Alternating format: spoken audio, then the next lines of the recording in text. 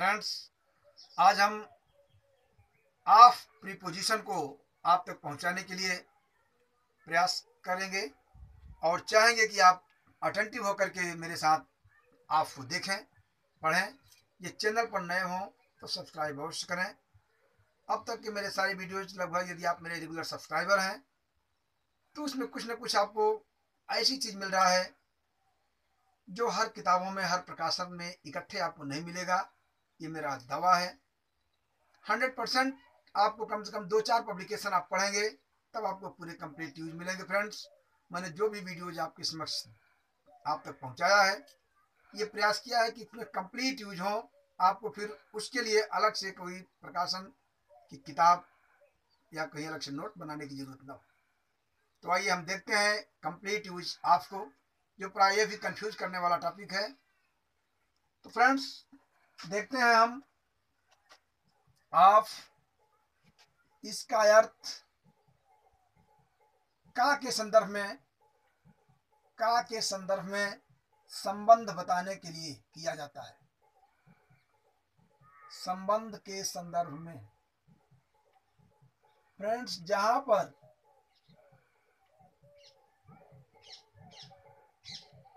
जहाँ पर दो नाउन के बीच आप समझे दो सब्जेक्ट दो नाउन के बीच में संबंध की बात करें, किया जाए तो वहाँ पर हम आप का यूज़ करते हैं। जैसे, राम महाराज दशरथ के पुत्र थे। ठीक है ना? मैं अपने पिताजी के घर में नहीं रहता हूँ। यह मेरी बहन का, बहन की किताब है। यह उस मेरे भाई का पेन है। तो यहाँ पर भाई और पेन के बीच में जो संबंध है, मैं बता रहा हूँ कि मेरे भाई की कलम है। यह मेरे बहन की किताब है। महाराज दशरथ और राम के बीच में संबंध क्या है? पिता पुत्र थे महाराज। दशरथ के पुत्र राम थे या राम दशरथ के पुत्र थे? तो फ्रेंड्स इस तरह से ऐसे संबंध बताने के भाव में हम ऑफ़ का यूज़ करते हैं। ये आप समझ पाए? आइए देखते हैं एग्ज़ाम्पल आप हिंदी नोट करें। राम दशरथ के पुत्र थे। तो आप कैसे लिखेंगे? Ram was the king sorry Ram Dasharath के पुत्र है, Ram was the son of king Dasharath.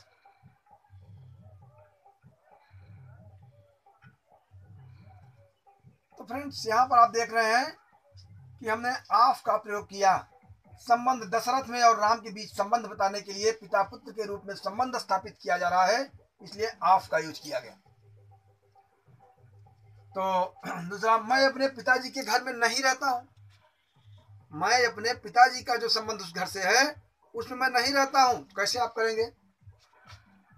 देखिए, आप लिखिए मैं अपने पिताजी के घर में नहीं रहता हूँ। पिताजी के घर में यहाँ वर्थ है का क्या?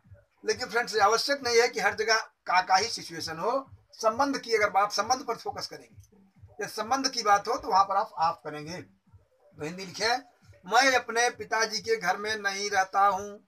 रहता हूँ प्रेजेंट इंडिफिनिट है। तो आप कैसे लिखेंगे? आई डू नॉट लिव मैं नहीं रहता हूँ। कहा नहीं रहता हूँ भैया?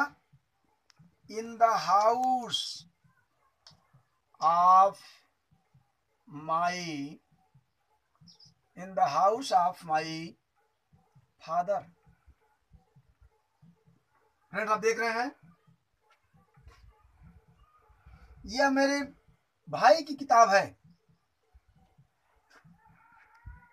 This is a book of my brother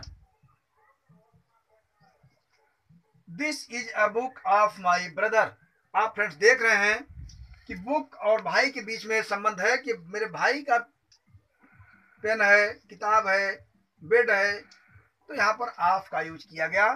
तो फ्रेंड्स शायद आप समझ रहे होंगे कि जहाँ पर भी दो नाउन के बीच में संबंध की बात हो, वहाँ पर हम ऑफ़ का यूज़ करते हैं। बात समझ रहे हो बेटा? तो फ्रेंड्स मैं सभी के साथ सबको कह रहा हूँ कि जहाँ पर संबंध की बात हो, आप ध्यान देंगे। चलिए इसका सेकंड यूज़ हम देखते हैं फ्रेंड्स माप तौल के संदर्भ में इसका सेकंड यूज़ है माप तौल। माप तौल के भाव में। अगर फ्रेंड्स कोई चीज़ तौलना हो मापना हो, मुझे कहना कि मुझे एक किलो चीनी दे दो, एक कप चाय दो, एक कप कॉफ़ी दो तो मापना ही तो हुआ कि एक कप कॉफ़ी दो भैया। आप दुकान पे जाएँगे, चार लोग हैं तो कहेंगे, आप चार कप कॉफ़ी दो। चार कॉफ़ी देना, चार कप चाय देना तो माफ़ी तो हुई, मेज़रमेंट तो आपने किया ना कि हम चार लोग हैं, मुझे चार कप चाहिए। तो फ्रेंड्स एक किलो चीनी चाहिए, पाँच किलो चीनी चाहिए, पंद्रह किलो चाहिए तो जहाँ पर सिचुएशन हो, माप तौल की बात हो तो आप वहाँ पर कैसे करेंगे? देखते हैं। मुझे एक कप चाय दो तो आप कैसे लिखेंगे भैया? Give me a cup. Give me a cup of tea coffee, जो भी कहना हो। मुझे एक कप चाफी दिया, यहाँ पर ऑफ़ का प्रयोग किया गया फ्रेंड्स एक कप चाय दीजिए, एक कप काफ़ी दीजिए, बात समझ रहे ना? कहना, आपको मुझे एक किलो चीनी दीजिए। तब क्या करेंगे? आप लिखेंगे गिव मी ए एक किलोग्राम के जी ऑफ़ शुगर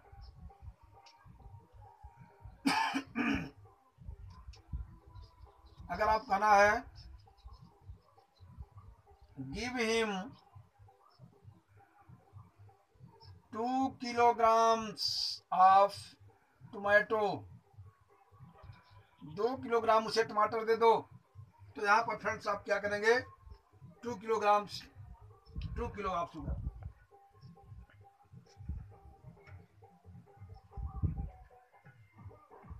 अब देखिए अगर हम एक कप पानी की बात करें, एक गिलास पानी की बात करेंगे तो आप लिखेंगे, bring me a glass of water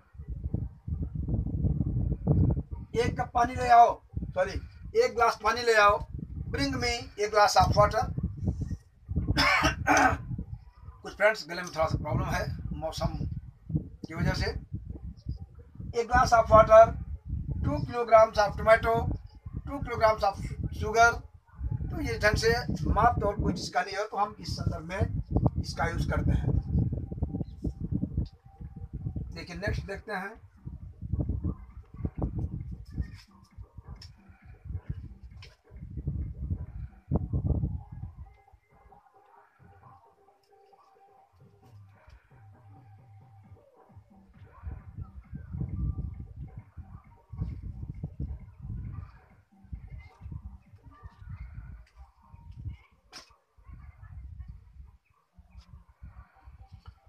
friends इसका थर्ड यूज़ आप देखेंगे। गुण बताने के लिए।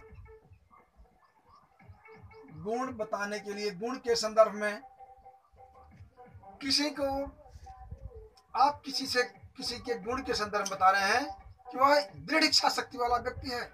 गुणी तो हुआ वह बहुत आयरन मैन है। तो आप ऐसी स्थिति में फ्रेंड्स कैसे लिखेंगे? आप लिखे हिंदी आप नोट करें? मेरे पिताजी my father is a man of strong will दृढ़ इच्छा शक्ति my friend is a man of strong will यहाँ पर ऑफ़ का यूज़ किया गया, आप देख रहे हैं। अगर कहना he is a man of he is a man of power he is a man of power आपका यूज़ किया गया he is a man of iron जब लिखे he is a man of iron friends इस ढंग से अगर किसी के गुण की किसी के क्वालिटी की बात को हम करते हैं तो हम इस ढंग से यहाँ भी ऑफ़ का यूज़ करते हैं। आप देख रहे हैं यद्यप फ्रेंड्स ज़्यादा वीडियो लंबी ना हो, इसलिए मैं एग्जाम्पल्स बहुत नहीं देता हूँ। तो मैं चाहूँगा कि आप इसको अपने ढंग से मैं एक उदाहरण देता हूँ, उसी आधार पर आप अनेक उदाहरण तैयार कीजिए। कोई दिक्कत हो तो आप कमेंट में पूछिए। आगे देखते हैं।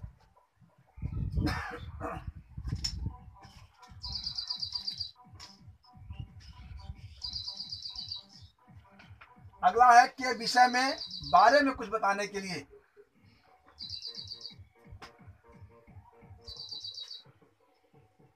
के विषय में। के विषय में या किसी के बारे में कुछ बताने के लिए अगर मैं आपसे कहूँ तो आप हिंदी नोट करें और देखें। क्या आप गांधी जी के विषय में कुछ जानते हैं? क्या आप मेरे विषय में कुछ जानते हो? उसने अपने यात्रा के विषय में मुझसे सब कुछ बताया। उसने अपने विवाह के संदर्भ में मुझे पूरी जानकारी दिया। तो फ्रेंड्स आइए देखते हैं इसको। अगर मैं कहूँ, आप हिंदी लिखिए। उसने मुझे उसके बारे में सब कुछ बताया। तो कैसे लिखेंगे? या उसने अपने यात्रा के संदर्भ में मुझे बताया। तो he told me of his travel ध्यान दीजिए travel he told me of his travel उसने अपनी यात्रा के विषय में मुझे बताया। ठीक है ना? क्या आप गांधी जी के विषय में जानते हो? कैसे लिखोगे आप? Do you know of Mahatma Gandhi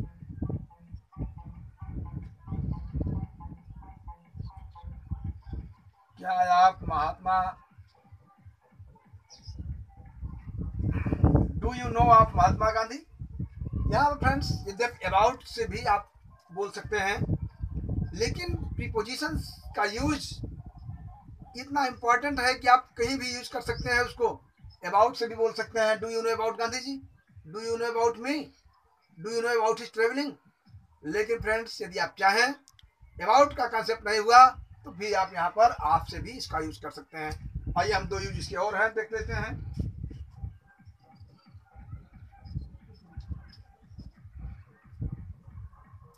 friends अगला है कारण बताने के लिए। कारण के संदर्भ में या कारण के संदर्भ में।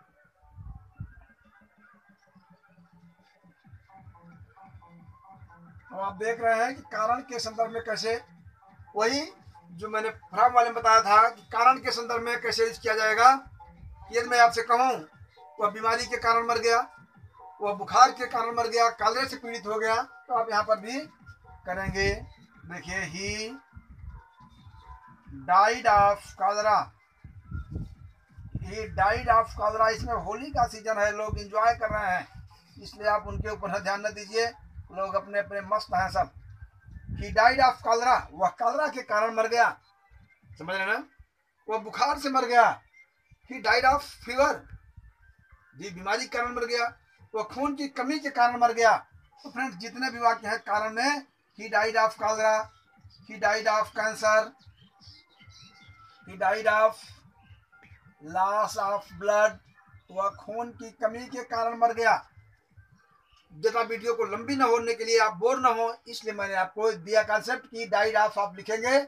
इसके बाद आप जो भी चाहें कालरा कैंसर ऑफ़ ब्लड जो भी कारण हो, उस कारण को आप दिखा देंगे आपके यूज़ से। बात समझ रहे हैं? और फ्रेंड्स हम देखते हैं इसका एक यूज़ से के अर्थ में, से के भाव में लेकिन यहाँ भी का का अर्थ छिपा रहेगा? फ्रेंड देखें भाव से का है लेकिन अर्थ क्या छिपा रहेगा? का। कैसे? आइए हम देखते हैं। यदि मैं आपसे कहूँ कि मेरा घर ईंट से बना हुआ है तो मेरा घर ईंट का है? देखिए दो, दोनों कॉन्सेप्ट आप देखें। यदि मैं कहूँ मेरा घर ईट से बना है तो यहाँ पर फ्रेंड्स आप देख रहे हैं कि मेरा घर ईंट से बना है। अब मैं इसको कह सकता हूँ कि my house is made of brick अभी मैंने पिछली वीडियो फॉर्म वाले ईद में भी बताया था कि जो प्रोडक्ट चेंज हो रहा है, घर ईंट से बना ईंट घर में तो वहाँ पर अगर प्रोडक्ट उसी ढंग का हो तो ऑफ़ लगता है और प्रोडक्ट चेंज हो जाए पूरी तरह से, उसका वजूद समाप्त हो जाए, जैसे दूध से दही बन गया। वहाँ पर दूध से दही बना तो दूध अब दूध में नहीं आ सकता। लेकिन इसलिए वहाँ पर फार्म लगेगा और यहाँ घर ईट से बन गया। अगर आप चाहें तो मकान को तोड़वा देंगे तो बहुत ईट सेफ़ निकल जाएँगी। जो टूट भी जाएँगी तो कहीं ना कहीं मिस्त्री उसका यूज़ कर लेते हैं। तो यहाँ पर जो प्रोडक्ट सेफ़ रहता है तो माई हाउस इज़ मेड यहाँ फ्रम, आप फ्राम नहीं होगा यहाँ पर, ऑफ़ का यूज़ होगा तो मेड ऑफ़ ब्रिक। मेरा घर ईट से बना है। यहाँ से के भाव में है यदि मैं कहूँ मेरा घर ईट का बना है तो यहाँ पर का भी आ रहा है? दोनों की स्थिति में ऑफ़ का प्रयोग आप करेंगे। My house is made of brick my house is made of stones जैसे भी है। यदि मैं कहूँ कि यह कुर्सी प्लास्टिक की बनी हुई है, यह कुर्सी या प्लास्टिक से बनी है। This chair is made from plastic made of plastic of plastic